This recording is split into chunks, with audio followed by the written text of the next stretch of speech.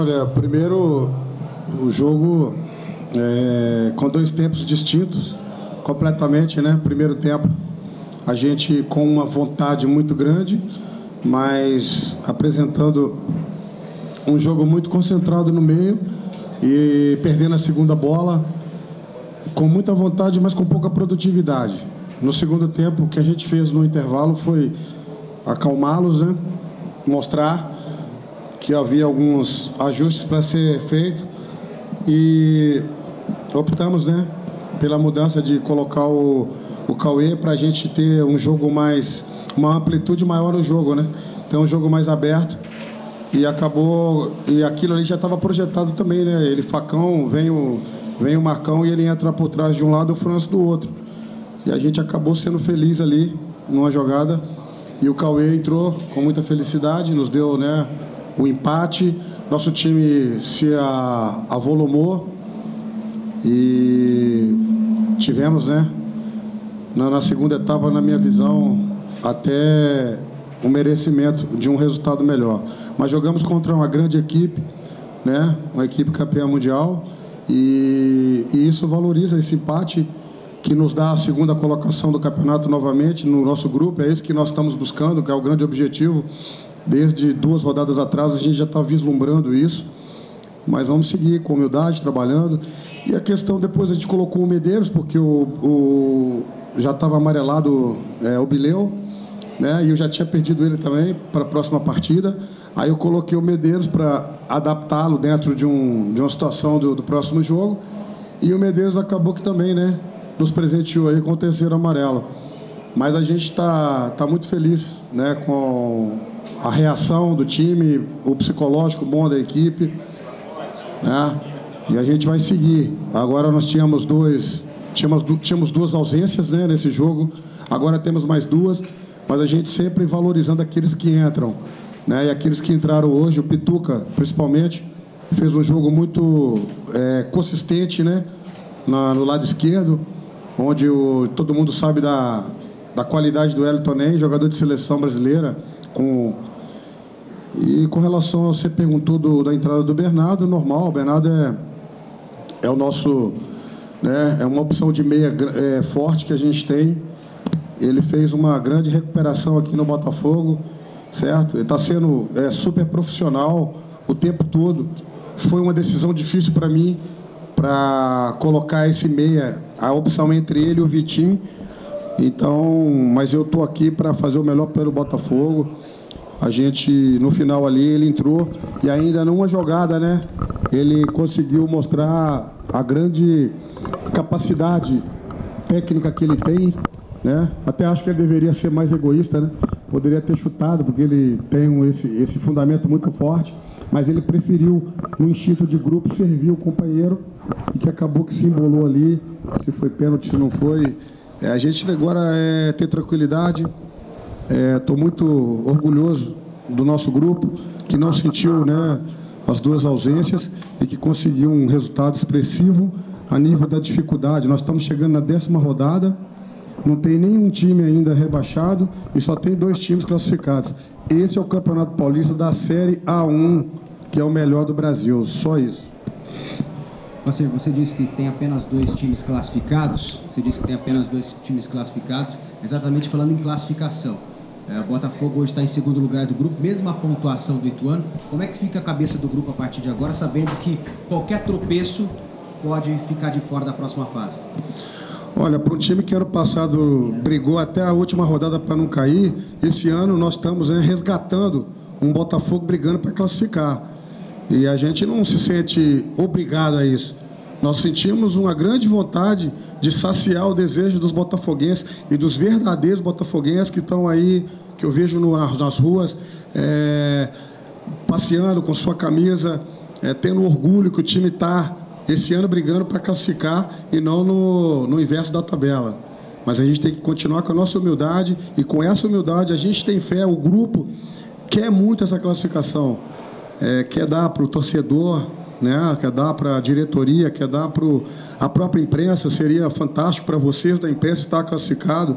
que ano passado todo mundo estava num, num, momento de, de, desespero, que não pode cair, que, e hoje a conversa é outra. Então isso faz esse grupo se sentir bem e nos faz, né? Aqui no comando, eu comecei o trabalho, estou terminando o trabalho. Acho que isso é, é também é um pouco, é, não é muito normal. Então isso, graças a Deus, a gente está tendo aí a direção, a, a, a comissão técnica está tendo uma, uma, sintonia legal para levar o trabalho com, com, com, transparência, com qualidade. E como eu falei com vocês, eu muito feliz de estar hoje aí jogando de igual para igual com o São Paulo, uma equipe campeã mundial, de ter jogado de igual para igual com o Palmeiras, de ter jogado de igual para igual com o Santos. Então hoje o resultado simplesmente foi menos é, sentido, né? Porque nós não merecemos perder para o Palmeiras e não merecemos perder para o Santos. Esse é fato. Isso a gente estuda os jogos, a gente sabe disso. E hoje nós não merecíamos perder para o São Paulo. Então, esse ponto aí valoriza é, o que a equipe vem des, de, desempenhando durante o, o melhor campeonato do país.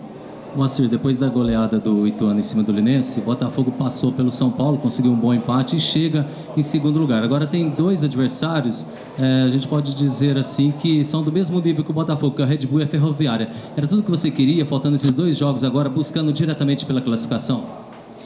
Olha, a gente queria estar tá valorizando né, a, a, a entidade, brigando. Né? Hoje eu queria também fazer uma ressalva de novo, né? Agradecer ao torcedor do Botafogo que compareceu, que teve um embate aí com uma das maiores torcidas do Brasil e, em momento algum, ah, ficou ali, né? Aumentou seu tom quando tinha que aumentar, valorizou a partida. Então, assim, a gente está muito feliz com, a, com, a, com, esse apoio que a gente vem recebendo, né? Dos verdadeiros botafoguenses, né?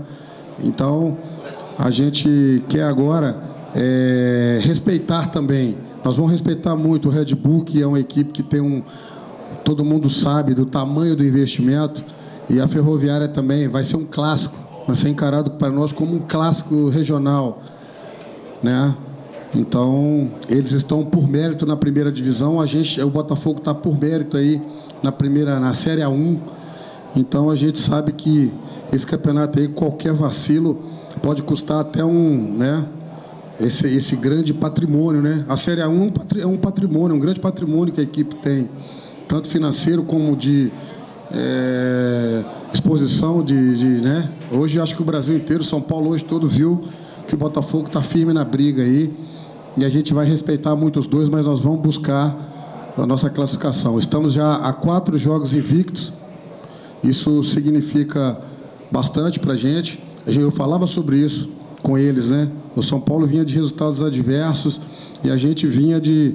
A gente fez uma vitória, fez dois empates fora e agora queríamos, desejávamos muito essa vitória em casa, porque aqui em casa a gente é muito forte. Né?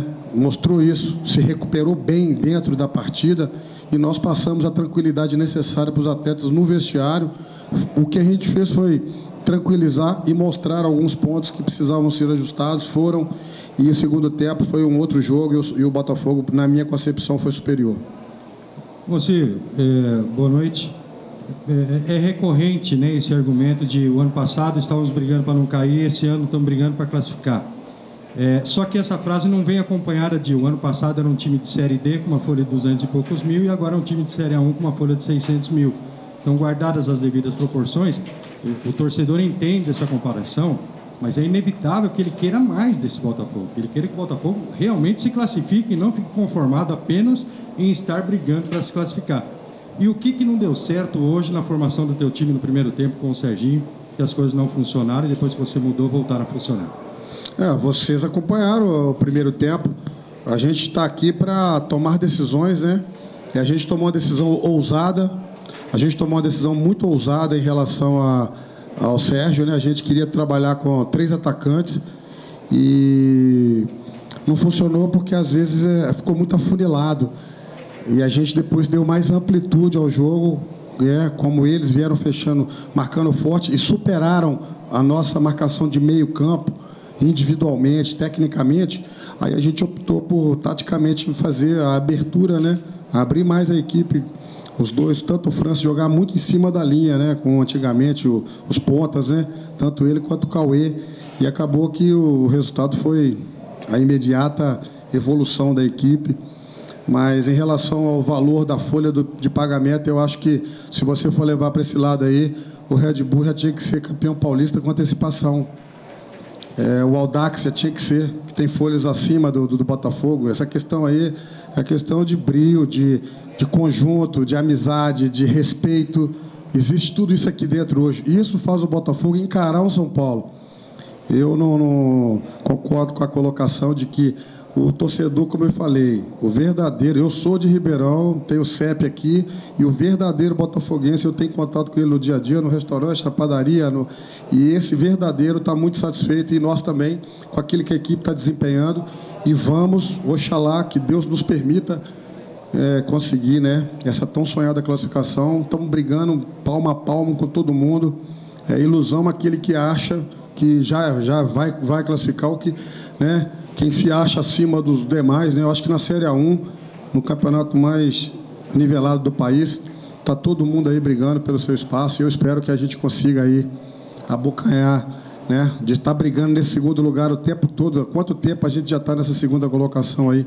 Eu acho que é um ponto a ser exaltado e não a gente ficar falando exatamente do ano passado que passou passou mas a verdade é que o momento hoje é um momento antagônico né nós vamos vamos continuar brigando aí firme aí fechadinho como está o grupo bacana concentrado o time concentrou dois dias antes para esse jogo sabíamos que tínhamos condições de ganhar e acabou que o, o segundo tempo mostrou isso Moacir, como será a programação agora para o jogo contra o Red Bull? Pouco tempo para treinamento? Será mais na conversa? É, acredito que é importante né, a gente recuperar primeiro os jogadores. Aqueles que não atuaram hoje, o caso do Fernando, do Rafael, né?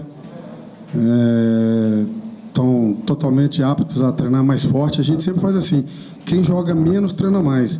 Aqueles jogadores que jogaram mais hoje, amanhã e depois é recuperar, porque a gente vai ter uma batalha muito dura, né? E todo mundo vai querer tirar nossa invencibilidade agora, né? São várias rodadas já invicto, né? Então vamos tentar não perder essa invencibilidade para que a gente venha para casa e cele, junto com a nossa grande e maravilhosa torcida aí, essa passagem aí para a segunda fase, que seria um grande sonho, um grande desejo de todos nós aqui dentro.